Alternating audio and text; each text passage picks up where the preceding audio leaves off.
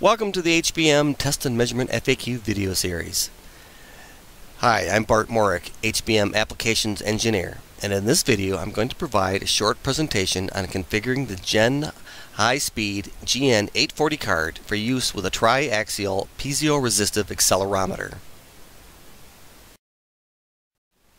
A customer recently called in and wanted to use the Endevco Model 7274 piezo-resistive triaxial accelerometer with the Gen high-speed system, and specifically our GN840B universal amplifier. The GN840B or 1640B sample at 500 kilosamples per second with 24-bit resolution. It supports nine different types of sensors that are selectable by each individual channel. It is a perfect solution for all kinds of mechanical testing such as shock and vibration, in addition to impact testing. The amplifier comes in either an 8 or 16 channel version and can be placed in any variety of Genesis high-speed mainframes from 2 to 17 slots for complete testing flexibility. So, HBM engineers spent a few minutes setting up the GN840B to interface with this sensor. The sensor to be used is a very small package. There are nine connections that need to be made, plus and minus voltage excitation, plus and minus X, Y, and Z axis, and the shield. Each axis of the sensor is configured as a Wheatstone bridge. All three axes use the same excitation source, and then each axis is tied to a channel.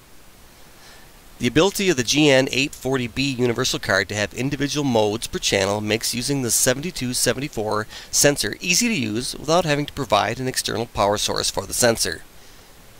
The output of the sensor is very, very small, as seen here, where the output is in microvolts per volt of excitation per G.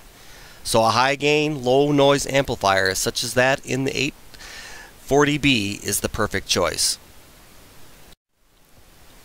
In order to make the measurement, there are three channels that are going to be required, the X, Y, and Z axis.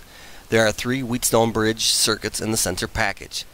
With that, there are four basic connections in a Wheatstone bridge two excitation pins, and two signal pins that need to be connected to the data acquisition system. One channel needs to be configured such that it provides the excitation power required for the sensor. This is identified as the basic sensor mode.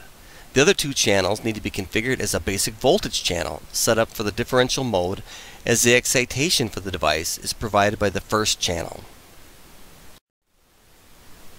Configuring Genesis channels is covered in other Genesis high-speed presentations in greater detail, but we'll go quickly go through this.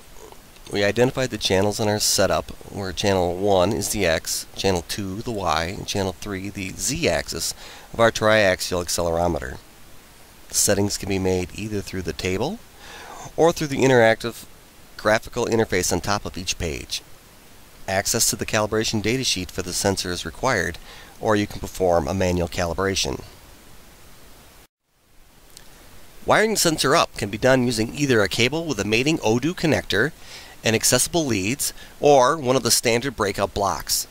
In this case, we use three of the DIN rail breakout options that are available and the 3 meter cable to interface between the breakout block and the channel. Since the sensor uses a single excitation source, we need to configure the channels in two different modes. Basic sensor for the channel providing the excitation, and basic voltage for the other two axes. The modes are similar in function except for the fact that the basic sensor mode provides voltage excitation in addition to a high gain amplifier. The minimum voltage span is 2 millivolts in both instances. This is important in that the Wheatstone Bridge base sensor typically have a very small output and the high gain low noise amplifier will provide the best results. In the basic mode, the channel normalization is the same as in the basic sensor. Reading the data from the calibration certificate for the sensor, we are able to normalize the recorded voltage and convert it into the technical units that we want to use.